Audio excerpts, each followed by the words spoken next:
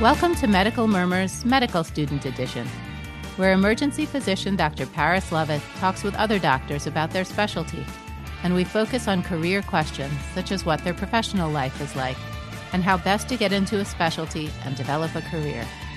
If you haven't already, we suggest that you first listen to the main Medical Murmurs podcast featuring the same guest before you listen to this one.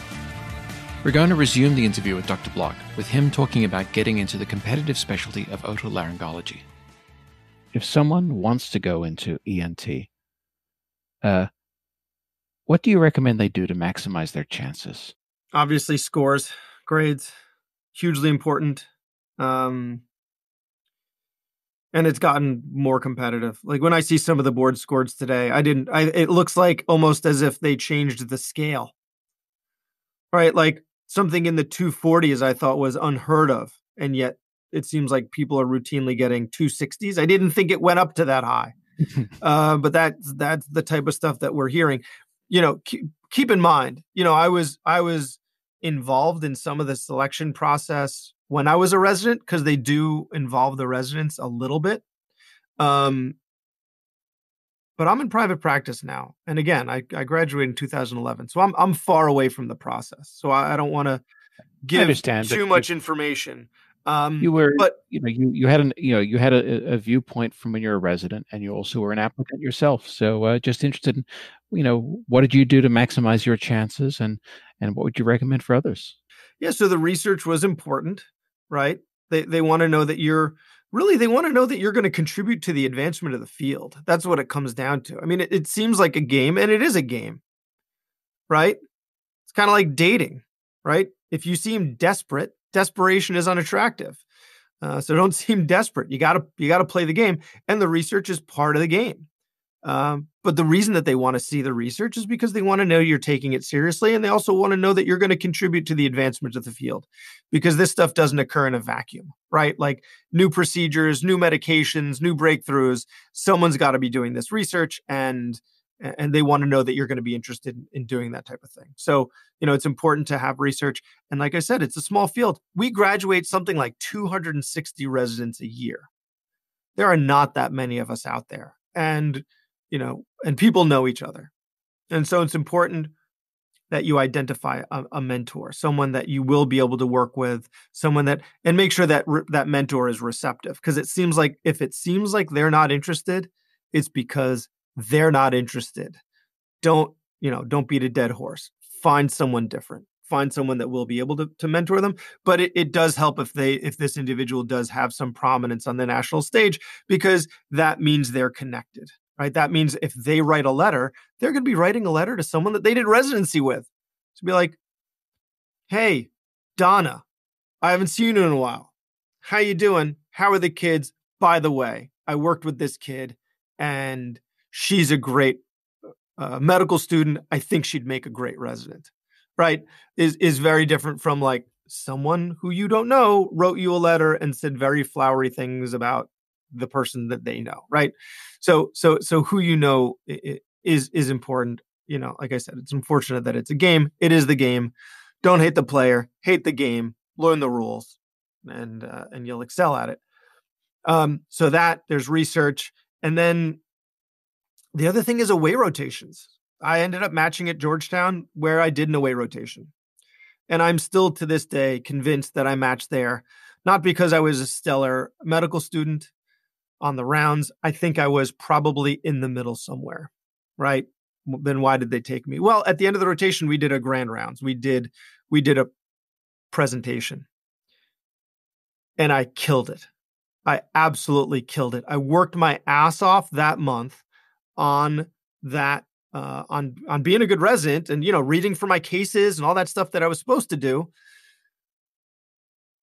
But that wasn't the thing that ended up setting me apart. The thing that set me apart was I did a grand rounds that all the attendings went to, and I just destroyed it. Um, God, what was it? It was it was medullary thyroid cancer um, in uh, MEN2B. So multiple endocrine neoplasia 2B um, has a 100% penetrance of medullary thyroid cancer. So if you know that someone with this gene is going to develop medullary thyroid cancer, shouldn't you take out their thyroid? Yes. Okay. When? And I tried to answer that question. And there wasn't an answer to that question, but I just got everything that I could together to try to answer the question of when do you take it out? And then, you know, this was a question that I'm sure these academics, you know, the head and neck cancer specialist, the pediatric specialist, they they would see maybe once every few years.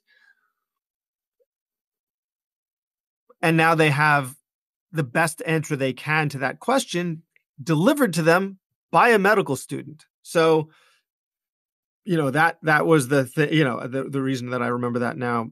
God, I finished residency eight and a half years ago. So that rotation was then four more years on top of that. So it was a while ago, and yet I still remember that presentation. Um, and and I think that was the thing that that got me in.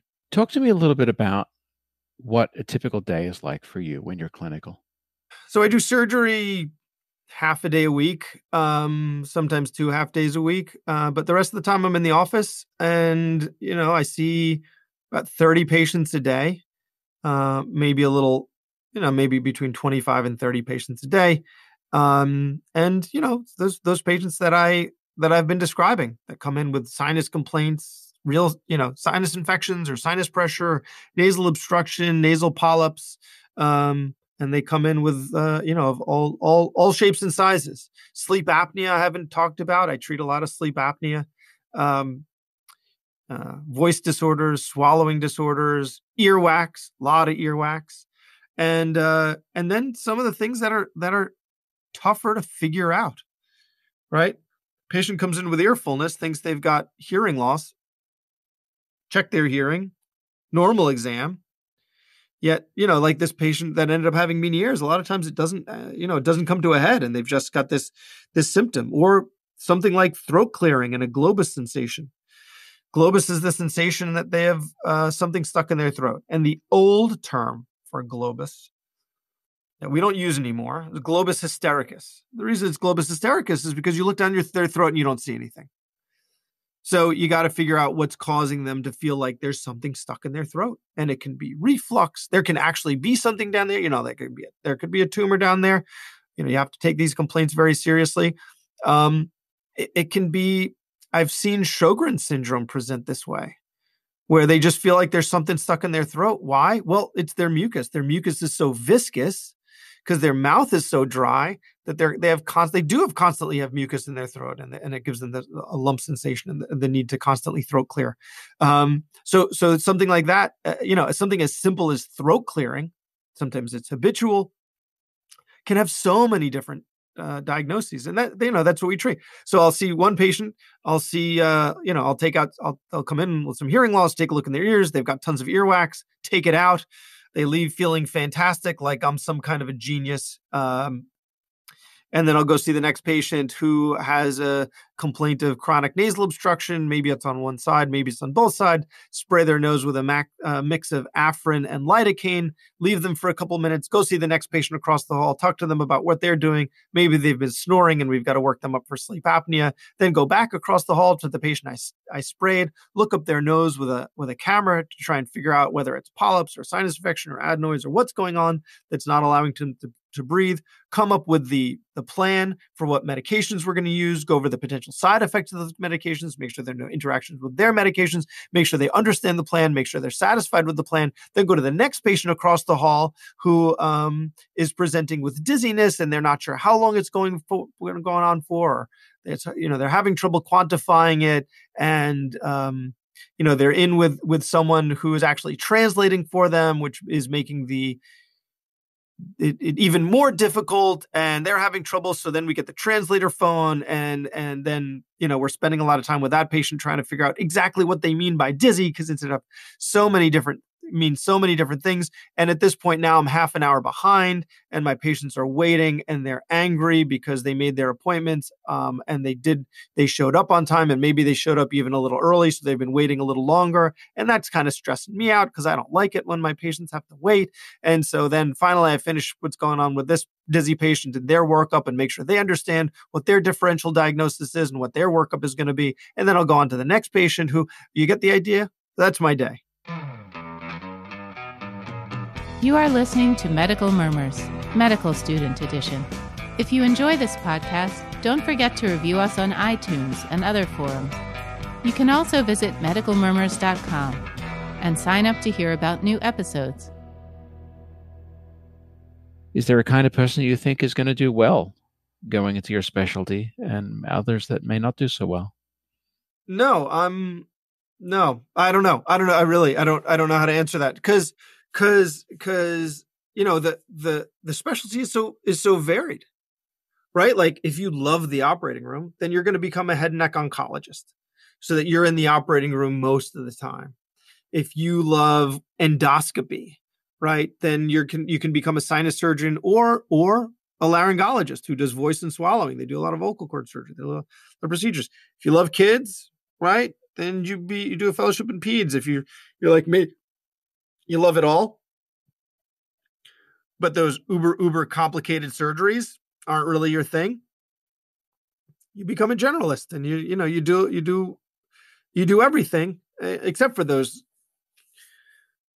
those types of cases. Um, I wonder if that's why, you know, they've done surveys on the specialties and apparently otolaryngology is the specialty with the highest degree of happiness among physicians. Had you heard that before?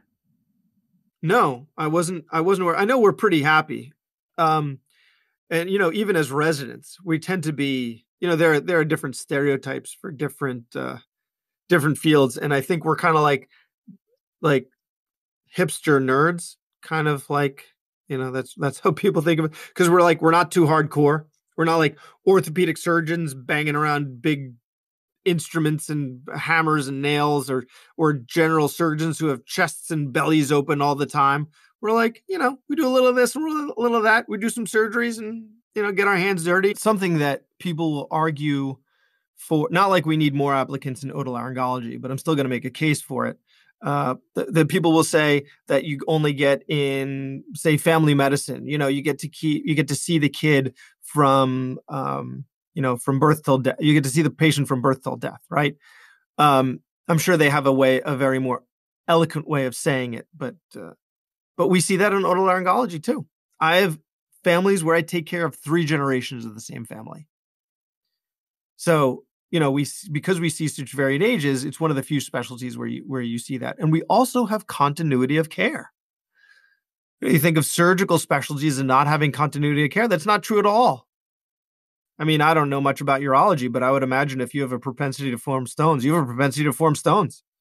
You are going to have a close relationship with your with your urologist. And for me, like if you have sinus problems, you have sinus problems. If you have middle ear problems as a kid, you know, you might have asthma as well, which means you might have sinus problems as well, and you might be a patient of mine for a very long time. I, you know, we see we there there is a lot of continuity of care in our field, and sometimes people will be of the um, misconception that that you only get that in in a primary care field where you get you get to establish long-term relationships with your patients. I definitely have long-term relationships with my patients. Sometimes again eight and a half years out sometimes it's still remarkable to me that like I, wow i've been seeing you for seven years and the variety of what we treat you know we can treat a four day old for tongue tie maybe a one month old from malacia and maybe a 90 year old who's having dizziness or swallowing difficulties. So the, the age range is huge, the pathology is very different. And then once you decide that you want to go into ENT, something I didn't realize but now do, is the type of practice that you can have varies really widely. You can be in private practice like I am and see all of those different varieties of, of problems, or you can go into academics and become a super specialist and just do sinus problems or just do head and neck cancer or just do voice and swallowing. Um, and then if you're at the academic center versus the community, the type of the complexity of the stuff that you see is very different. So if you want to see that those uber complicated patients, then you know, you're at an academic center. So, you know, the the one thing that that I think medical students don't realize is that you know when, when you've chosen your specialty, the variety of practice within that specialty can still be huge. The other thing that I didn't realize is how different my life would be from that of a resident. Now I know work hours are very different, responsibilities are very different, but that like the type of pathology that I see as as a generalist out in the community is very different from the stuff that I was seeing in the uh, in the academic center at, at Georgetown and Washington Hospital Center.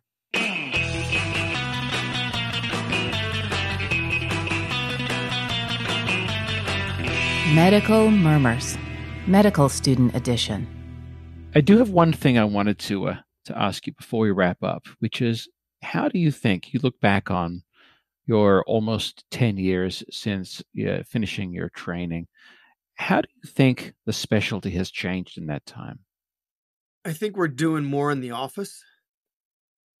I think we're learning from the dentists and the oral surgeons, and we're getting at least, at least from where I'm looking, we're taking more out of the operating room and bringing it back into the office. And when I say back into the office, they used to do tonsillectomies awake. So there was a lot more done in the office, you know, many years ago than than than there is now, and we're seeing a shift back.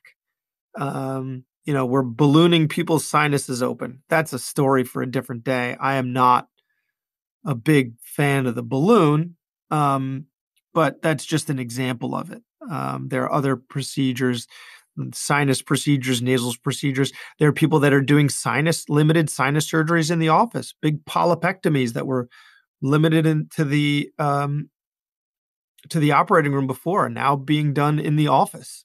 So we're we're taking there you know there are laser procedures. People have lasers in their office, few and far between, uh, but we're doing more like laser vocal cord surgery in the office and not in the operating room. One of my one of my partners has one.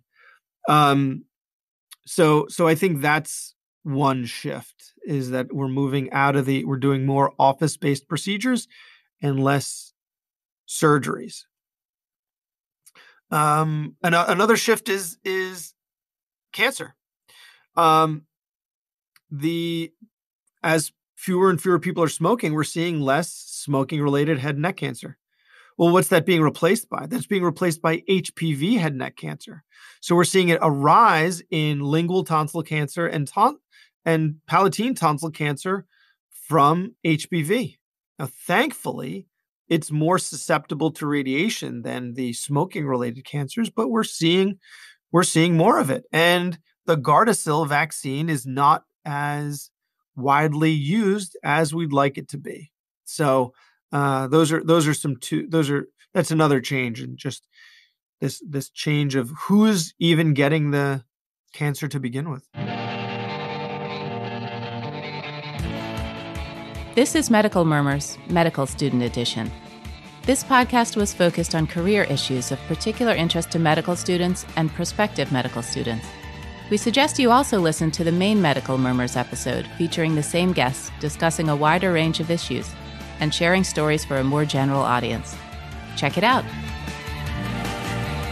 You have been listening to my interview with Dr. Bradley Block, an otolaryngologist based in New York, and also the creator and host of the podcast called The Physician's Guide to Doctoring.